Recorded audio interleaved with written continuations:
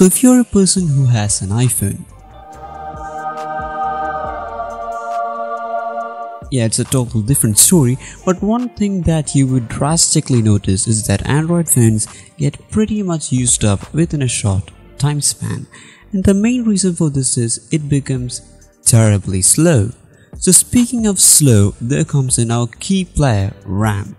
So talking about RAM, RAM means random access memory blah blah blah. I'm not going to blabber all that stuff because what is important is how to speed up that boy up and maintain a faster and smoother experience for gaming, work or anything, never mind. It just makes you feel super fast than usual. Than usual is very important here because it's not going to make your 2GB RAM phone work like a 6GB one but within its limit, it's going to perform its best to make it a much smoother and faster experience than before. So once again, guys and girls, this is me Nevil, you're watching this on Nevil Studios and without no further ado, let's jump right into it. So if you guys would like to see more of these kind of videos, then hit that like button. I would be doing furthermore of these kind of videos if you hit a target of 200 likes. So the RAM performance can be affected if the phone's hardware is not functioning well and we can't cover that yet in this video. So I would recommend you guys to go to your service provider if you think the damaged hardware is the reason of your phone getting slowing down. Filling up internal memory with apps can massively slow down your phone, but the actual reason is it's not running out of storage but these vigorous amount of apps eat up most of your RAM data. So uninstall every unwanted apps you might have installed on your phone. It might be hard but just do it for god's sake, it can increase your performance. Apps like WhatsApp have lots of files in them like WhatsApp images, videos, documents, etc. These items drastically reduce the performance. Telegram is also an example. Every time when you open up a chat in WhatsApp, it is prepared that if you might access the image or other files that has been sent to you. So they considerably store this data in the RAM so that the app can quickly access them for you.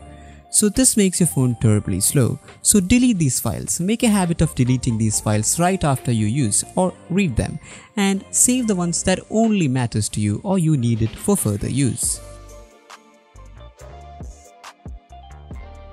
So most of you guys think clearing recent apps free up RAM. Yes it does but it makes your experience slower.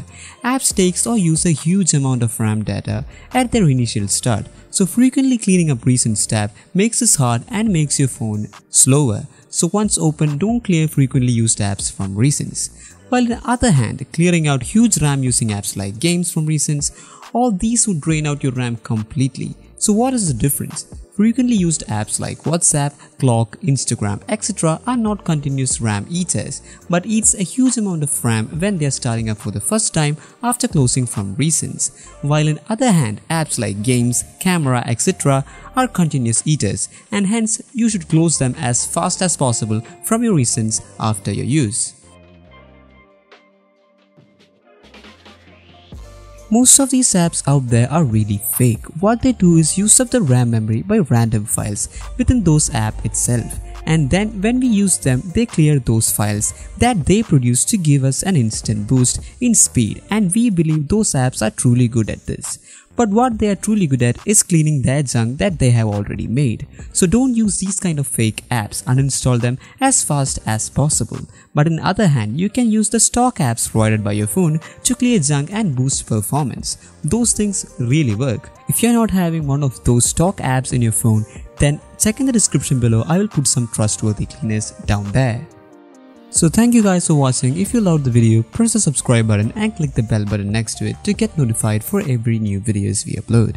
If you like this, please share with your friends and family. Help them to increase their performance on their phones. Also, comment down your suggestions below. We will respond to you and feel free to accept any changes that you would like to mention to us. So once again, this is Nevil from Nevil Studios signing out.